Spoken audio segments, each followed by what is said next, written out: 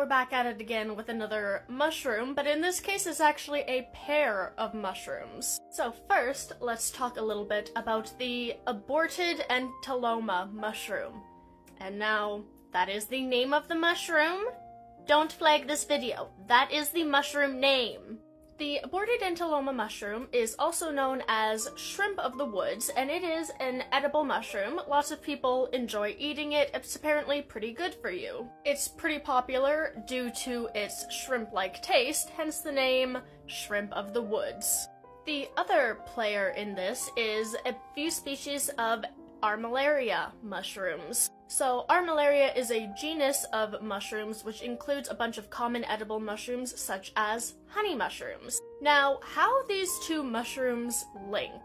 At first, when it was first discovered, it was thought that the aborted Entoloma mushrooms were victims, also known as hosts, of the parasitic Armillaria mushrooms. That's where the aborted part of the name aborted entoloma comes from, because in context of mushrooms, aborted means parasitized. So it was thought that the um, Armillaria mushrooms parasitizes the entoloma mushrooms.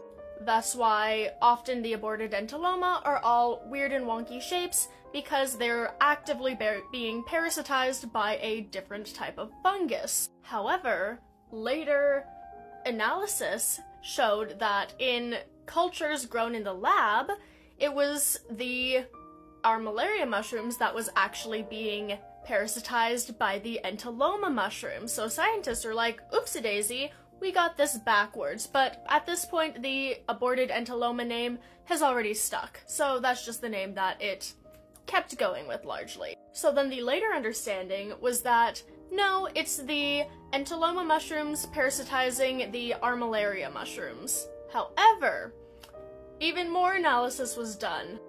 Later analysis on these two mushrooms has shown that both of them can just play an Uno reverse card and parasitize each other. So sometimes it's the Armillaria mushroom that does the parasitizing and it attacks the Entoloma mushroom.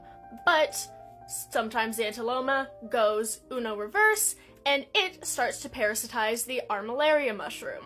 Now currently it's not really known how it's determined which one parasitizes the other one. It may due to environmental factors, it may be up to the individual mushroom and the mushroom immune system strength or whatever in order to fight off the parasite. It's not really known what conditions cause these mushrooms to be the victor in the parasitizing relationship. So essentially, it's just an arms race between the two mushrooms to figure out which one comes out on top and which one gets parasitized.